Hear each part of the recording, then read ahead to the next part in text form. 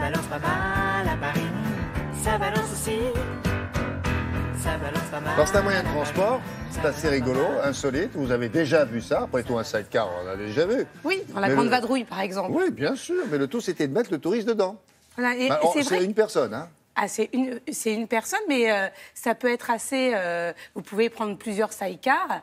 Ah oui, ah oui d'accord. On, se déplace en bande. on peut se déplacer en bande et, sur- et surtout, euh, euh, c'est quand même innovant euh, et ça remet au goût du jour ces petits plaisirs d'antan. C'est un peu une petite Madeleine de Proust, finalement, le sidecar. Et est-ce que vous en croisez beaucoup dans Paris? Pas tant que ça. Pas tant que C'est ça, assez rare.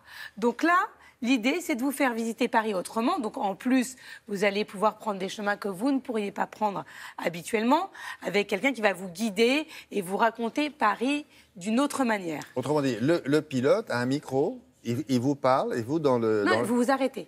Ah, vous non, il, arrêtez, il, vous- il vous raconte pas pendant, je trouve que ça serait bien. Ah, on- il on dit tiens, peut, tiens, là, je peut, passe on- boulevard machin. On peut leur, leur suggérer. C'est bien ça. Oui, Ouais. non, non, il y, a- il y a les deux. Ils vous racontent en même temps et vous pouvez vous arrêter. Et on fait des. des- des- des haltes et vous allez même jusqu'à Versailles. Mhm. Donc nous avons testé. Moi, je n'ai pas pu euh, le pour, tester. pour des mais- raisons biologiques, oui. Voilà, mais, euh, mais nous, avons de- nous avons trouvé très vite des volontaires. Il n'y a pas pour des, des ce- sidecars pour femmes enceintes, non. Pas encore, pas Euh, pour l'instant. Non, mais en fait, je rentrais dedans, attention, je rentrais dedans. C'est plus une question d'assurance de la maison, je n'ai Ah pas oui, voulu oui, prendre de risques. Oui, Allez, on va Donc je suis allée rencontrer le fondateur qui était champion de sidecar. Ah oui.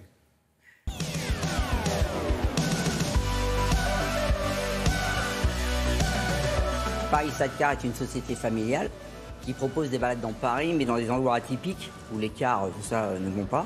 Ça vient de, ben, de plusieurs années où je faisais du sidecar, sidecar cross, et euh, de la compétition. Et voilà, je me suis dit pourquoi pas lancer un concept de sidecar dans Paris pour les balades.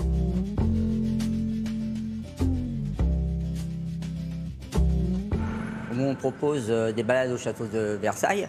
On part de 9h à 17h le soir. On offre à notre clientèle l'entrée du château. Et vers midi, midi et demi, on lui offre un pique-nique à la parisienne. On the way, shade Non, blue, c'est- she says, "Hey, babe, take a on aussi les monuments de Paris, Take a walk on the wild side. les quais de Paris le soir. Et après, nous avons des petits circuits atypiques avec euh, le Marais, Montmartre. Donc vraiment dans les petites ruelles où les autocars ne passent pas. Candy came Tous les clients sont pris à l'endroit, hôtel, chez eux. On les ramène chez eux ou à l'endroit qu'ils désirent en fin de balade.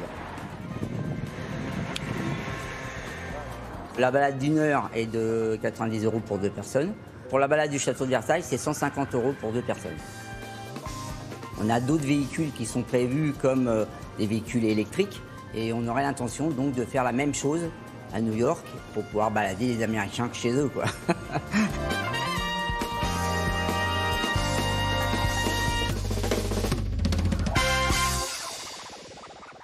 Pas cher? Non, c'est raisonnable. Hmm. Pour faire un, un anniversaire ou une surprise à sa fiancée, c'est c'est pas mal. J'entends Charlotte Bouteloup qui, Ou à son père. Qui a peut-être envie de faire du sidecar. On peut peut-être lui arranger une, une balade avec le, le fondateur Oui, du bien site. sûr. Bien sûr. Et je voulais Avec vous un jeune pilote, ça serait sympa. On va faire une petite sélection avant. OK. Hein, je pense que vous avez des noms à lui, à À lui lui donner. soumettre, bien sûr. Et une autre start-up qui aussi euh, repart sur, on réhabilite des, là c'est un deux roues, c'est le Solex. Ah ouais Euh, c'est dans le bassin d'Arcachon. Il vous propose euh, de louer et de partir en balade en Solex à plusieurs et de faire des petites randonnées euh, Mhm, pour réhabiliter le Solex. Vous avez connu le Solex? Euh, Avez connu. Non, mais Vous c'est avez pas connu si la vieux. C'était l'ancêtre du vélo. Oui, j'ai connu ça en bois, oui. Merci beaucoup, Laura. Allez.